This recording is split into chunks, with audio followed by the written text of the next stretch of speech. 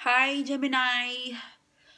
Hi, Gemini. Welcome to my channel. This is a love romantic relationship reading for you, Gemini.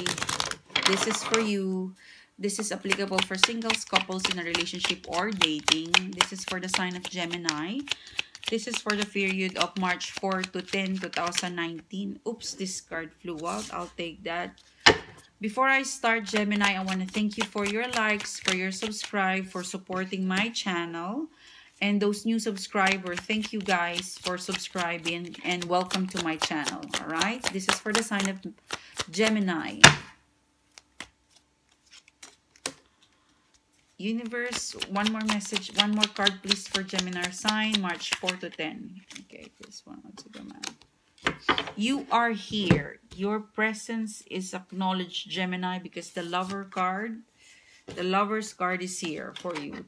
So before I start Gemini, I really want to remind you to click the notification bell because it will give you the um oops um the you know the real-time update as to when I upload the video or post something in the community all right? So let me just get two clarifying cards for Gemini. Universe what can we get for Gemini? Okay. Okay this card wanted to flew out make it happen okay? One of the message here straightforward messages make it happen. I always see the magician as some a card that's really powerful. It's you know my my my uh my interpretation and intuition it, it changes it transcends. So whenever i see the magician it's a message for you to make it happen. Make it happen right this is an ideal this is a soulmate connection. This is an ideal couple. This is an ideal communication. This is an ideal connection. Right if you're just dating. Um you could be dealing with law or policies or justice or but it's just something that with your relationship is approved. All right your your relation is gonna be approved. You probably are getting married engaged but the law in order the justice the balance it's in favor of your relationship okay? So all you have to do is to make it happen. And these three cards i felt like it's more of it could be this is a recent past because i'm drawn to start with this part of the reading. This is recent. This is past. It could be in the past you know you have emotional imbalance lots of emotions. And you felt like it's not over but to be honest with you, these three cards, I felt like this is in the past. You've just gotten out of this. If you were struggling to understand the feelings, emotions of this person towards you, or if you are in a commitment or you are in a dating situation where it is confusing, um, there's a lot of back and forth, there's a lot of holding back. This is gonna be over. Okay, this is there's gonna be balance at the end of this don't ask me how you will get that balance, but they just show me these three cards where you are going to get back together. There's fairness and, you know, make it happen.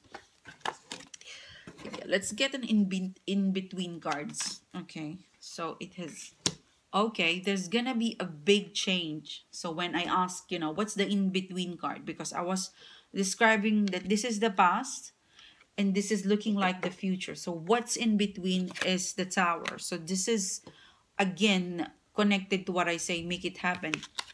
If there was an imbalance, misunderstanding, um, confusion, it is calling for a big change. All right. You need to like um you need to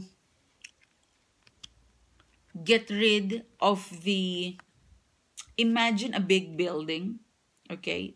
When a bu- when a building is new it's it's it's new. It's very stable.